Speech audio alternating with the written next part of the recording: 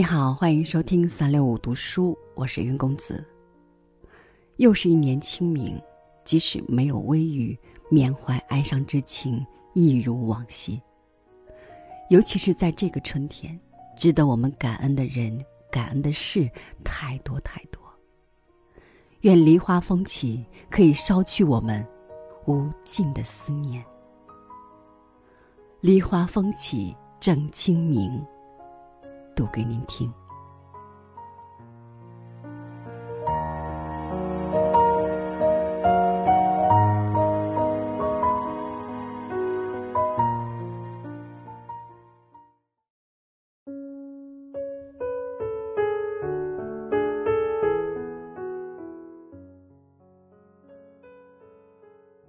今天，依然坐在电脑前，为你整理书稿。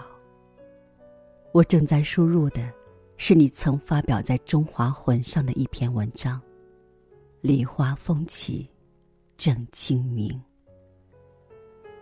在文中，你引经据典，隶属习俗，那些熠熠生辉的文字，一如你生前那样，阳光灿烂，令我着迷。我的心绪却被风起的梨花扰乱了，无尽的伤感乱箭般纷纷袭来，刺伤了我的梦境。昨夜，你终于回来了。俗话说，爱恋中的人，一日不见如隔三秋。分别的两千多个日夜，又怎能计算清？是多少秋的思念呀！你像往常一样，用饱含着深情的声音说：“静，总算看到你了。”我内心里升起一抹内疚，埋怨自己不该整日沉溺于读书写作，竟然忽视了你的存在。看到你虚弱不堪的身体，我忙前忙后的替你擦洗身子，端来热水泡脚。你一如生前那样顺从的接受我的照料，多情的目光缠绕在我的忙碌之中。你伸手要牵住我的手，却又红了脸，仿佛从前每次去学校接我回城。进入山路后，就一路小跑着。我也向着你来时的方向急切的奔跑。可当我们终于互相望见了对方的身影，却逐渐放慢了脚步。牵住对方的手指时，矜持中兼有害羞的意味。只有气喘吁吁的汗珠，却不小心透露了内心灼灼的思念。正是清明节，满山的梨花桃花，竞相争艳。你在路边的一株桃树前站住，折了一朵粉艳的桃花，给我插在鬓发际，笑吟出了“人面桃花相映红”的诗句。你的浪漫，点燃了我们心头的诗意。于是，唐诗宋词的余韵相伴我们走过了爱情季节里那段甜蜜的旅途。你读“春城无处不飞花，寒食东风御柳斜”。我对“日暮汉宫传蜡烛，轻烟散入五侯家”。你读。梨花风起正清明，我对游子寻春半出城。你读无花无酒过清明，兴味萧然似野僧。昨日邻家起新火，小窗分雨读书灯。我读清明时节雨纷纷，路上行人。欲断魂。借问酒家何处有？牧童遥指杏花村。很奇怪，那时候我们会有那么好的记忆力。我的诗意一发不可收，读出了“清明佳节桃李笑，野田荒冢只生愁”。见你没有接着对，我又逞能般读出了“南北山头多牧田，清明祭扫各纷然，纸灰飞作白蝴蝶，血泪染成红杜鹃。”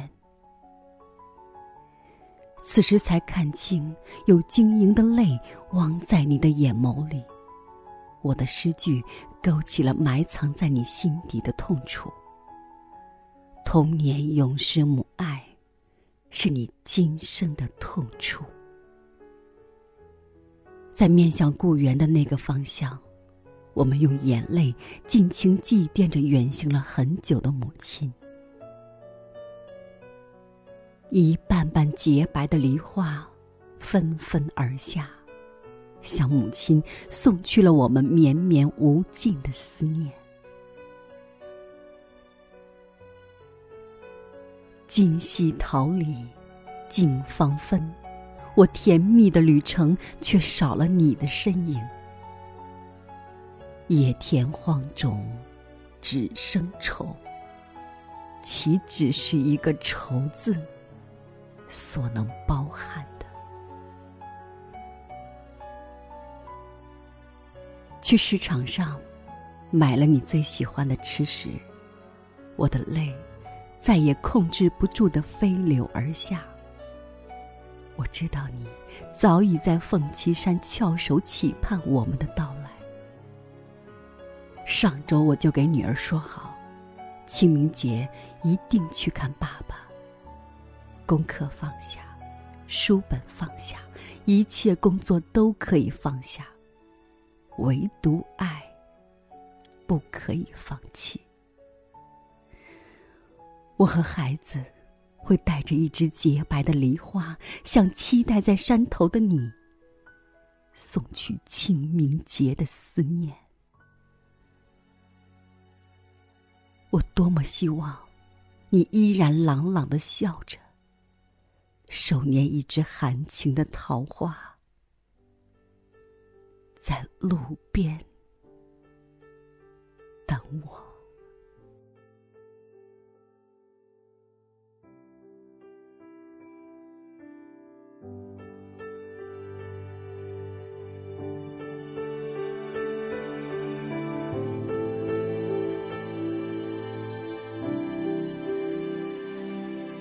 海尽头的人烟，漫过了远山，漫过了心田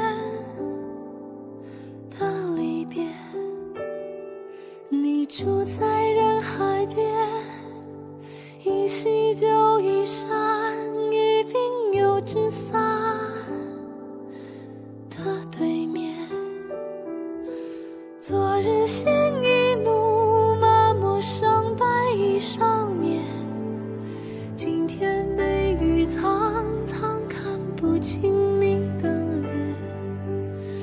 梦中再照面，已不会逆转天雪。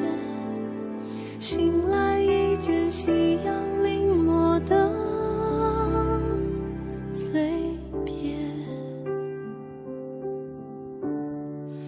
你是